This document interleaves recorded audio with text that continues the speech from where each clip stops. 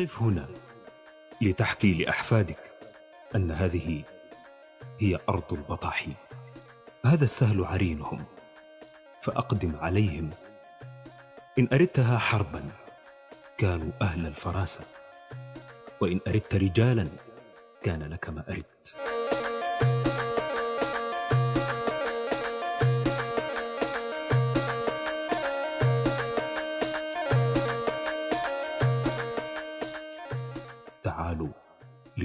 لنريكم عنهم غير الذي سار الركبان بسيرته.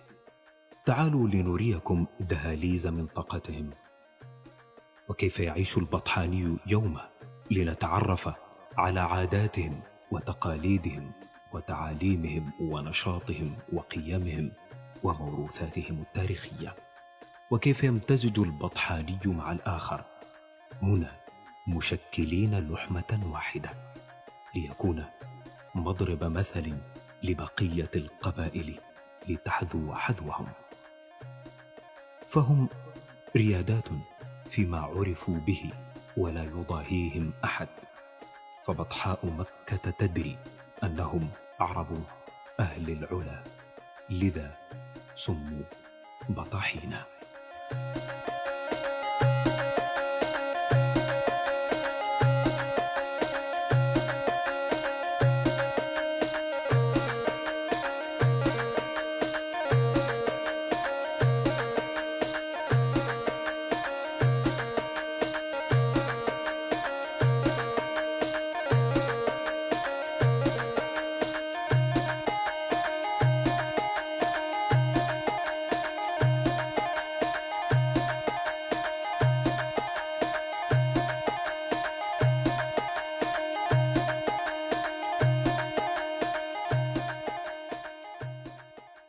تعيش قبيلة البطاحين في سهل ممتد من السكة حديد بحري غربا إلى وادي فرج الله شرقا مع قبيلة الشكرية وجنوبا إلى جبل أم غربال تجاورهم قبائل المسلمية والمغاربة والمحس.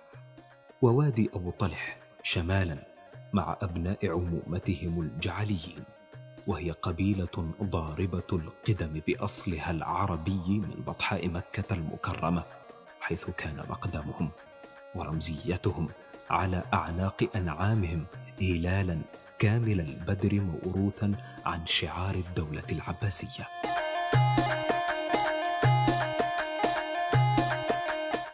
قبيلة البطاحين هي واحدة من القبائل السودانية العريقة قدمت إلى السودان من الحجاز واستوطنت بشرق النيل منذ أكثر من سبعة قرون حيث باديتهم المعروفة ممتدة من الضفاف الشرقية للنيل إلى تخوم منطقة البطانة. وفي هذه البادية يمارسون عادات وتقاليد خاصة بهم من بينها المروءة والكرم. واختلطوا مع المكونات السودانية القديمة وأصبحت عاداتهم مزيج ما بين العربية وما بين المكونات السودانية القديمة التي وجدوها. قبيلة البطاحين يمكن نحن في ولاية الخرطوم آه، مقسمة لثلاثة مناطق. فيها المنطقة الشرقية اللي هي دي قرابة ال 30 لجنة أو تزيد حوالين أبو دليق العاصمة. وهنا في المنطقة الوسط منطقة التمامة دي المناطق الوسط. فيها يمكن 18 قرية بطاحين على سبيل المثال الزليق وعلوان والدلو الشيخ طه. العرقوب العريقيب الكربة الستنة الهديباب دي عدد من مناطق الوسط. في المنطقة الغربية اللي هي فيها الجانب الحضري بنلقى حطاب وود مولع وعد بابكر والزاكياب وجبرونة هي عدد لا يقل عن الثلاثين قرية آه، في سنار والجزيرة كذلك عدد كبير من الغرى أشهر الشيخ فرح والتكتوك من أقدم الغرى الموجودة تزيد على ال 600 أو 500 كذا سنة. وجبل موية وجبل دود وسقدي آه، كندة والطيبة الرقل مدقاقة الرماش آه، كلها من غرى البطاحين. وكل هذه الغرى في سنار والفي الجزيرة والفي الخرطوم والفي الوسط كلها قلبها معلق بأبو دليق عاصمتها ولديهم قيادة تاريخية قديمة منذ أكثر من سبعة قرون ولا زالت هذه القيادة متسلسلة إلى يومنا هذا. وموجودة في أبو دليق. بدأت يعني من الشيخ عبد الباقي ثم ابنه الشيخ طلحة ثم محمد طلحة ثم أتت الصديق محمد طلحة ثم إلى محمد الصديق محمد طلحة وأتت بعده لخالد محمد الصديق محمد طلحة ومن خالد أتت الناظر الحالي اللي هو محمد المنتصر خالد محمد الصديق طلحة. فكان شيخهم ومعلمهم الشيخ طلحة أول ناظر لقبيلة البطاحين له يد سبق على الأمة السودانية فهو من قدم هدية زعماء العشائر إلى الملكة البريطانية فيكتوريا إبان الحكم الإنجليزي إلى السودان. وأهدي إليه سيف ممهور بتوقيع الملك جورج يعيش في بيت النظارة إلى يومنا هذا ليشهد التاريخ لعيال الشلاعة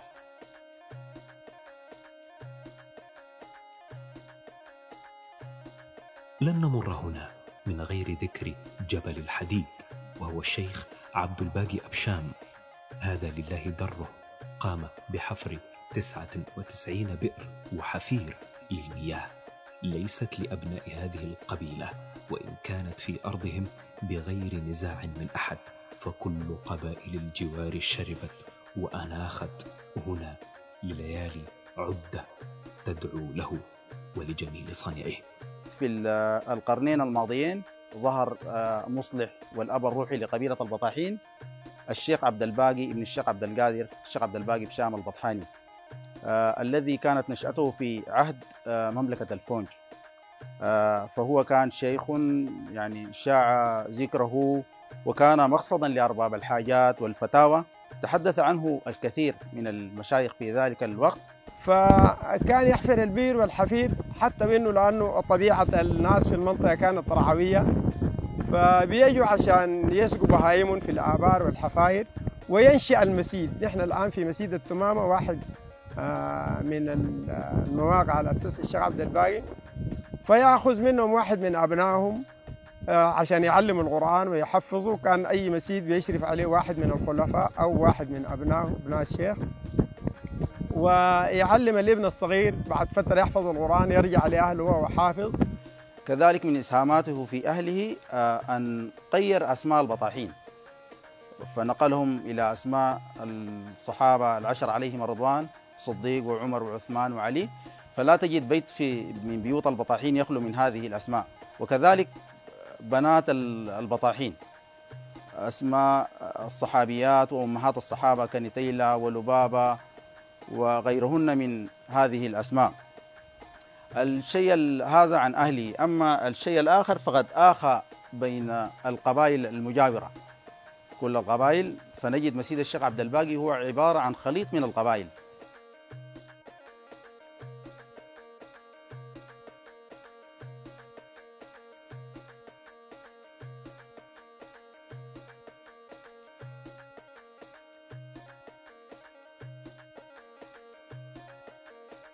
فالشيخ عبد الباقي حفر عدد كبير جدا من الآبار والحفاير نذكر منها هذا الموقع التمامة وعلوان قدوم أم سديرة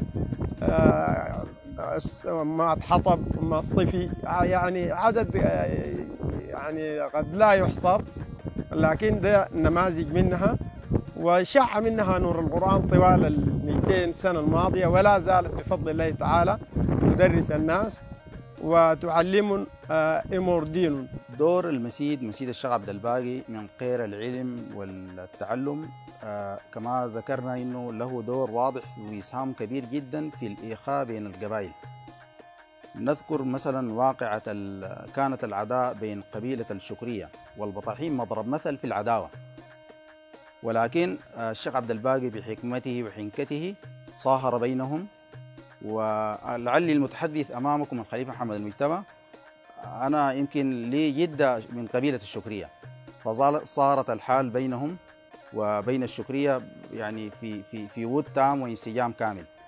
وأمر ابنه الشيخ طلحة اللي هو الناظر الأول في الحكم الإنجليز والخليفة بعده أن تزوج من قبيلة الكواهلة. فأنجبت له الشيخ محمد طلحة الناظر الثاني والخليفة الثاني لقبيلة البطاحين.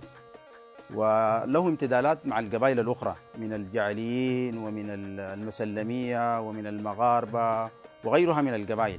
الشيخ عبد الباقي بشام البطحاني آه، توفي في العام 1292 هجرية وقد عاش 63 آه، عام. ربنا أكرمه في هذه الفترة وهو كامتداد لأجداده من المتصوفة من أبناء البطاحين جد الشيخ فرح والتكتوك اللي سبقوا ب 400 سنة تقريبا وجد الشيخ طه الأبيض البطحاني والشيخ عرفات والشيخ نعيم. آه، الشيخ عبد الباقي جاء من بعدهم وربنا أكرمه في هذه الفترة إنه يكون خير امتداد في تنشئة وتربية وتهذيب أبناء البطاحين.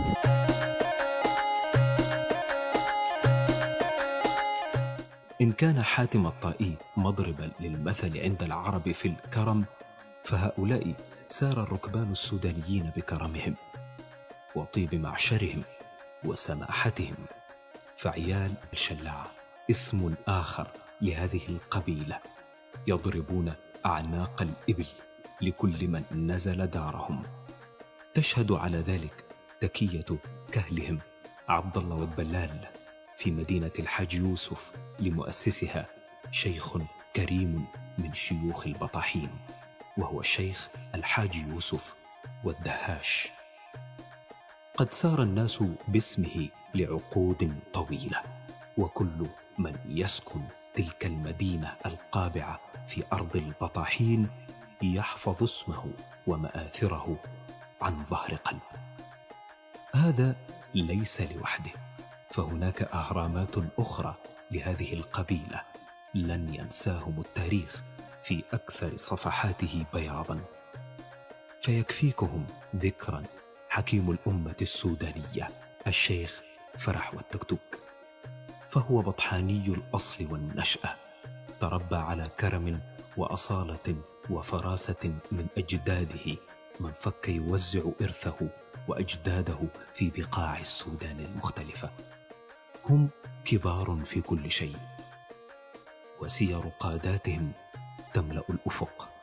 وحري بكل سوداني أن يعرف ويفخر بهؤلاء النفر الكرام من هذه القبيلة العربية الأصيلة التي امتزجت مع النسيج السوداني حتى أصبحوا ضلعا اساسيا ورافدا يغذي قلب الأمة السودانية بكريم الأصل والطبع.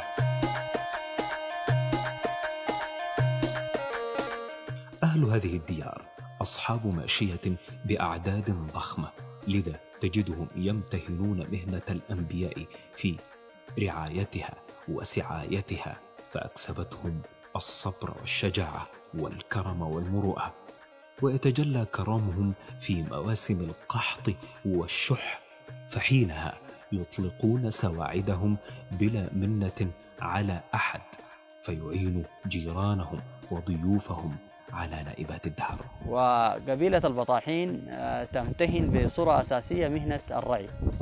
يعتمدون في معاشهم على تربية الألبل والضان وهم رعاة وكذلك يحبون الصيد ويحبون حياة الفر والكر وهم قوم أولي بأس وأولي شدة وأتوا بذلك من جزيرة العرب وأكبر دليل على ذلك قول الشاعر السوداني المعروف عبد الله محمد عمر البنا في مدحهم بطحاء مكة تدري أنهم عرب أهل العلا ولذا سموا بطاحين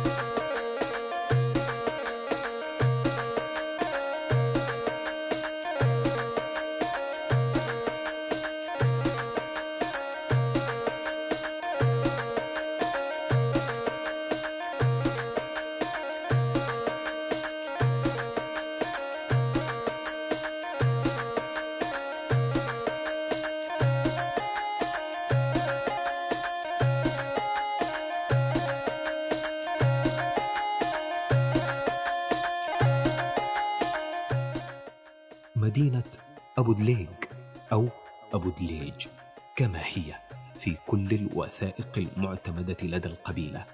هذه المدينة هي حج البطاحين ووجهتهم وصرة أرضهم ومركز قيادتهم. وهي مدينة على قدمها التاريخي لكنها كحال المدن السودانية الأخرى لبثت ثوب الحداثة وتلفحت بكل مستحدثات العصر الحديث. فهي تتميز بشكل عمراني متفرد كبناء الحجر الذي يقف شاهدا على ذلك. بها كل ما تريده كزائر أو مستوطن. لن تنقصك حاجة من حاجياتك هنا على الرغم من بعدها النسبي عن المركز. لكن من الملاحظ أن هناك مبان عتيقة قدمها من قدم المدينة نفسها ووصل عمرها لأكثر من مئة عام. حتى أصبحت تندرج تحت وصاية منظمة اليونسكو التي تعنى بالآثار في العالم أجمع. تقف المدينة شاهدة على تاريخ تلي وعلى كل قطرة مطر نزلت في هذا السهل وكل دم سال لكرم الزائرين ضيوفا كانوا أم أصحاب حاجات. أبو دليك لها باع طويل في التعليم بدأ بتعليم القرآن الكريم في خلاوي المنطقة إلى أن تأسست أول مدرسة لتعليم الأساس سنة 1912 ومدرسة متوسطة في العام 1973 ومدرسة ثانوية سنة 1993 لتبدأ هجرة طلاب هذه المدينة غربا إلى الخرطوم ليكملوا تعليمهم العالي. كما أن هناك شبكة كهرباء عامة دخلت الخدمة في المدينة في العام 2012 قطاع الصحة كان حاضرا فكان هذا المبنى لمستشفى أبو دليك ساهرا على صحة أهل المدينة منذ سنوات عديدة كأم رؤوم تخاف على أطفالها من المرض.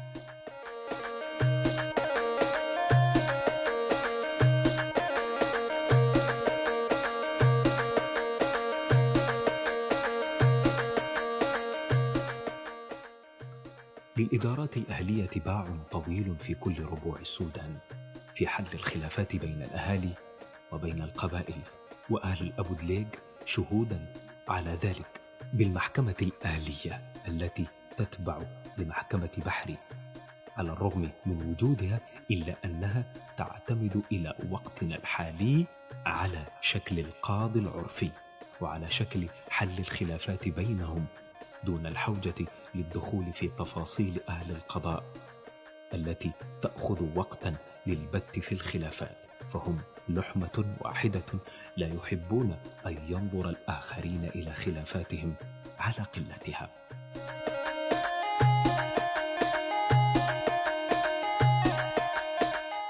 مع كل تفاصيل هذه المدينة لن ننسى أن نمر على شاهد العصر وعلى مجدها وتاريخها التليد. سوق أبو دليك العتيق وهو سوق لتجارة الماشية بأنواعها وأعمارها وأوسامها فكل القبائل تبيع وتشتري وكل له واسمه على عمق ماشيته. تدار هنا ثروات هائلة من الماشية. كان لزاما على شرف القبيلة أن يكون هناك فرد يسمى الضامن. يعرف الضامن كل صغيرة وكبيرة عن الماشية وأوسام القبائل المختلفة حتى لا يقول الناس أن هناك حق ضاع في سوق أبو دليك ونسبه للبطاحين. أنا ضامن السوق وقبل كان ضامن سالم محمد سالم لكن كبير كبر وعاد وفاته بحياته استلمت أنا السوق منه بعد والحمد لله يعني لا اليوم ضامن أنا. والقبائل دي ما بتديك الضمانة إلا بثقة لأنك تكون مكتملة فيك الثقة تعرف أي قبيلة تعرف اسمها في السوق شنو؟ تعرف الحرام اللي داخل السوق شنو؟ تعرف الزول ده سايق البهايم البهايم هو ولا مين هو لأنه الضمين قديم. أنت بتحافظ على رقبتك وبتحافظ على مال القبائل. أنا بطحاني أصلا أما وابن وضامن قبيلة من ضامن ضامن سوق قبيلة البطاحين كل قبائل السودان هنا كل مختلف القبائل. أنا بضمن في سوق بالليل. وكل القبائل مفوضان تفويض. كل القبائل العمد والمشايخ مفوضين تفويض. أي قبيلة ما في قبيلة بوسمها بيشبه فيه عندك الشكرية بوسم المطارق. فيه ناس بيوسموا الجفن عندك رفاعه بوسموا الطباعه بوسموا الد- ال- ال- الشخلوق عندك يعني القبائل مختلفة. قبائل مختلفة. عندك الكمالاب والمرومات بوسموا الرسم والعقال بلغتهم هم بيقولوا هسال عندك الحسنية بيوسموا القرادة بيوسموا العقال وفي ناس الجبل بيوسموا القرادة والعقال والمغيدر عندك البغار بيوسموا الخد. عندك الجعلين بيوسموا العمود. في ناس بيوسموا آه، العمود والقرادة عندك المسلمية بيوسموا وسم البدر مزقاق فوق الرقبة. يعني كلها كل القبائل عندك حتى البطاحين ذاتهم مختلفين في الوسم بداية السوق كانت رواكيب. مو سوق. السوق ده بسنوا رواكيب وكان بفرشوا لكن أصلا سوق البطاحين ما فيه ما فيه ده من برا. إلا دول يجي ناجح شايل له بصل والله شطة والله ملح وخدها شق آخر من السوق لتجارة كل شيء لمعاش الناس. تجد هنا كل شيء بأثمان يتحملها الجميع. ففي دار البطاحين لن تعود بخفي حنين.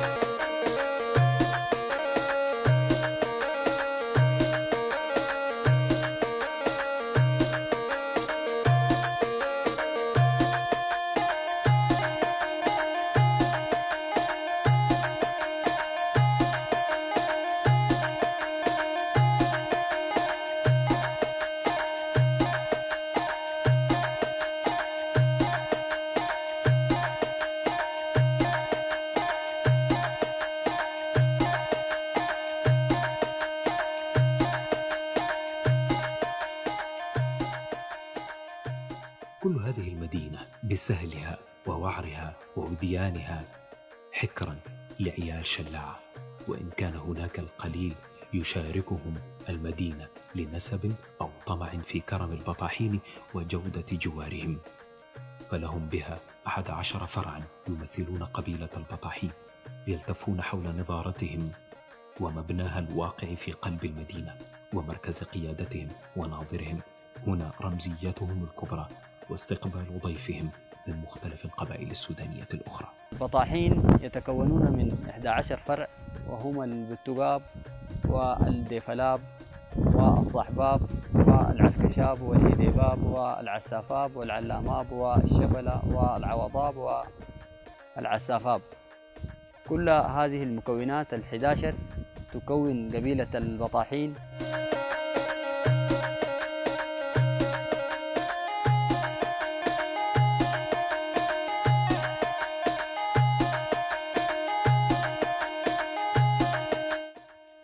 للشعر والغناء والطرب نصيب في حياة قبيلة البطاحين متأصلة فيهم ساعة وساعة من غير خدش للحياة.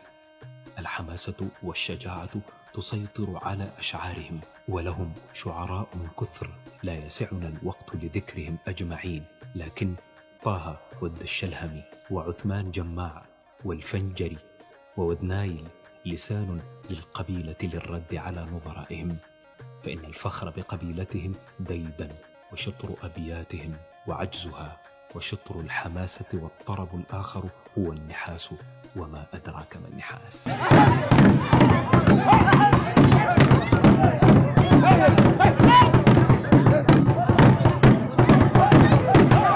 هذه الآلة الإيقاعية المتفردة في مكوناتها وصناعتها وأنغامها ساحرة القلوب ليست من فراغ فهي مرتبطة بكل شيء في حياة ابن هذه القبيلة بأفراحهم وبأتراحهم أيضا.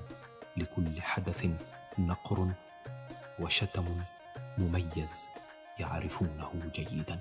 هذا آلة نحاسية وهو من صنع نبي الله داود عليه السلام. وفي السودان يستعمل لأشياء كثيرة. في ناس بيستعملوه للسبل أمثال الدساتير والأشياء دي. وفي ناس بيستعملوه في النعرات الغبلية. فقديم هو قديم قد ما الساعة ذاتها. فحاجة العرب كانت فيه وثاني في السودان في أفريقيا موجود بكثرة كل زعماء العشائر الموجودين في السودان أي واحد بيكون عنده نحاس. ما عنده نحاس ده ما بيعتبروه قليل ما, ما, كتير. ما عنده سلطة كبيرة. النحاس اللي في دليك ده تقريبا بكون حاجة بتاعت 700 800 سنة. لأنه ظهر في السلطنة الزرقاء وبدايته كانت عند البطاحين والتوأمة بتاعتنا اللي هم دارفور فور سلطان علي الدينار فبيناتهم وبين الشيخ طلحة كان مواصلات كبيرة جدا جدا. عندما يسمع صوت النقر على الجد هذا يعني أن هلموا فإن هناك أمر هام قد حدث. واقصدوا حالا بيت النظارة متوشحين سيوفكم لتروا. ما الخبر إن كان هناك فرح رقصت طربا وإن كان غير ذلك كنت على أهبة الاستعداد لتلبية أمر الكبير. أما النحاس ده زعيم القبيلة كله وهو اللي بيأمر بيهم عنده يوم معين يقول دقوا فيه. عشان القبيلة كلها تتجمع على بعضها وتبقى كرجل واحد. بدقته الدقة اللي بيعملوها دي فيها خلفة. بيستعملوه في في الأفراح أو في النعرات القبلية أو توفى شخص كبير في العائلة في القبيلة كده يضربوه النحاس. بيجي الحريم بيزدحن عليه والزول فقد راجل الرجال ذاتهم بيبكوا وبيجوا على النحاس. النحاس البكا بتاعهم بيزيد الحزن في حاجات معينة كده. ودقات في الشتم بتاع النحاس دقات خاصة كده بيعملوها لهم هنا الكل سكران طربا لأنغام الجلد العتيقة الضاربة بأقدامها في عمق البطاحين. مع كل نقرة وشتم تتموج الذاكرة بالأسلاف الذين مضوا تاركين هذا الإرث الكبير. يستعرض هؤلاء بأسيافهم تاريخ الأجداد وعطر النفس وقطرات العرق فرحا كان أم كرها. تلبية لصوت الجلد ليخلدوا لأطفالهم ذكرى رجالات البطاحين منذ أمد بعيد. وكل الشواهد تشير إن, أن هذه القبيلة يصولها عربية وكذلك لديها أواشج وأواصر مع المكونات السودانية القديمة. وهم حريصين كل الحرص على التواصل مع كل مكونات المجتمع السوداني.